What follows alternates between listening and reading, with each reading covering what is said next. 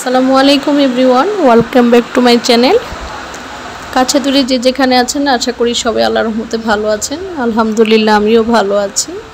নতুন আরেকটা ব্লগ নিয়ে আপনাদের সামনে আবার হাজির হলাম। যে যেখান থেকে আমার ভিডিওটা দেখছেন, অনেক ধন্যবাদ সবাইকে। আমার চ্যানেল থেকে স্বাগতম জানাচ্ছি সবাইকে।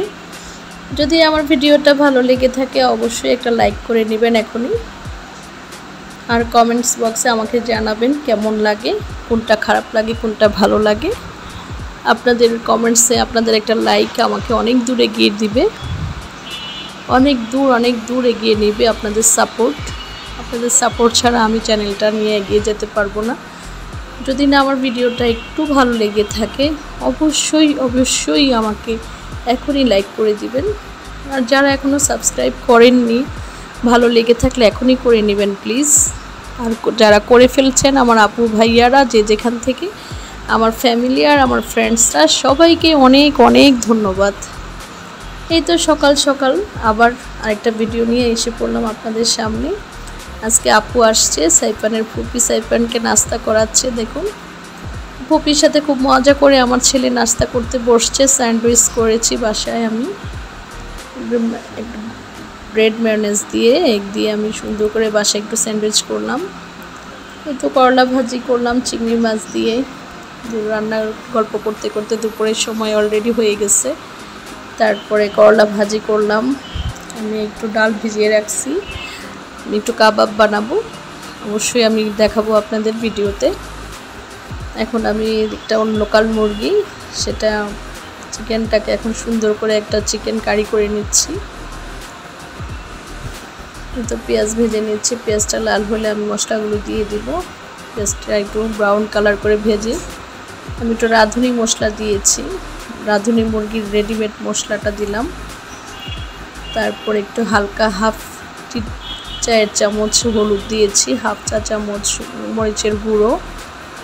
হাফ চা চামচ ধনিয়ার গুঁড়ো দিয়ে মশলাটা কষিয়ে নিচ্ছি। আমি আবার একটু এক টেবিল চামচ মতো আমি রাঁধুনি চিকেন মশলাটা দিয়ে দিলাম।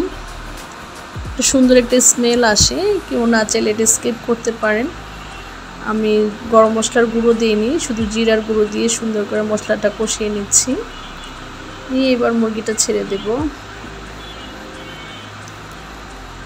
মুরগির মাংসটা একটু ভালো করে দশ পনেরো মিনিট কষিয়ে তারপরে আমি ঢাকনাটা আটকিয়ে দেব।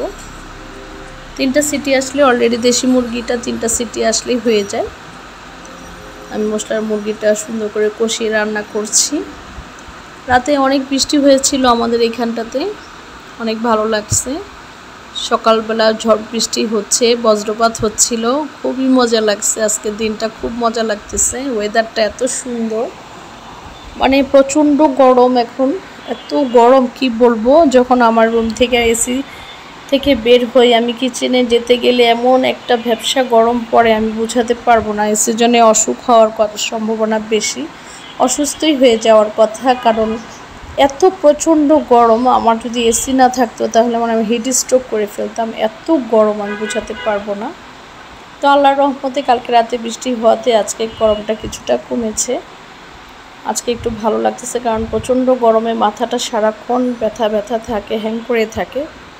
অনেক খারাপ লাগে। যতই না বাসায় জুস খাই, যত শরবতই খাই তারপর গলাটা কেমন শুকিয়ে যায়। এইরকম প্রচণ্ড গরম আমার এখানে প্রচণ্ড। এই তো রান্নার সাথে সাথে অনেক গল্প করে নিলাম আপনাদের সাথে ভিডিও করছি, গল্প করছি, ভালোই লাগে আসলে। তো আমার ভিডিওটা যে যেখান থেকে দেখেছেন, দেখতেছেন আপু, ভাইয়ারা অবশ্যই সাবস্ক্রাইব করে নেবেন, আমাকে একটা লাইক করে নেবেন। আপনাদের এই সাপোর্টটার জন্য বারবার আমি বলছি একই কথা। আপনাদের এই সাপোর্টটা আমার চ্যানেলের জন্য অনেক কিছু অনেক কিছু আমাকে, আমার চ্যানেলটা যদি আপনি সাথে সাথে আমি যে ভিডিওগুলো দেই সেটা নোটিফিকেশন চেয়ে থাকুন। সাথে সাথে আমার ভিডিওটা দেখতে চান, তাহলে বেল বেলাকনটি প্রেস করে নেবেন। তাহলে আমার সব ভিডিওর নোটিফিকেশনগুলোর সাথে সাথে আপনাদের সাথে কাছে চলে যাবে। যখন যে অবস্থায় যেই সময় আমি যেই ভিডিওটা দিব, সবগুলো ভিডিও আপনি সাথে সাথে পেয়ে যাবেন। কি সুন্দর বৃষ্টির পানিতে দেখুন, আমার গাছের ফুলগুলো কত সুন্দর পানি, বৃষ্টির পানি পড়ে আছে, কি ভালো লাগতেছে দেখতে। ওয়েদারটা চেঞ্জ হলে আসলে ভালোই লাগে, বৃষ্টিটা আমি খুব পছন্দ করি। সকালবেলা খুব ভোরের দিকে প্রচণ্ড বৃষ্টি হয়েছিল। অনেক ভালো লাগছে ঘুমোতেও। কারণ আজকে সকালবেলা ঘুমোতে এতটা ভালো লাগছে বোঝাতে পারব না। আমি এসিটা অফ করে, সাইফানের বাবা এসিটা অফ করে দিল। বাহির থেকে এত সুন্দর বাতাস আসতে ছিল অসম্ভব ভালো লেগেছে। এই সবগুলো ভিডিও, সেজন্য সব কিছু আপনাদের সাথে শেয়ার করছি। তো সবাই ভালো থাকবেন, সুস্থ থাকবেন।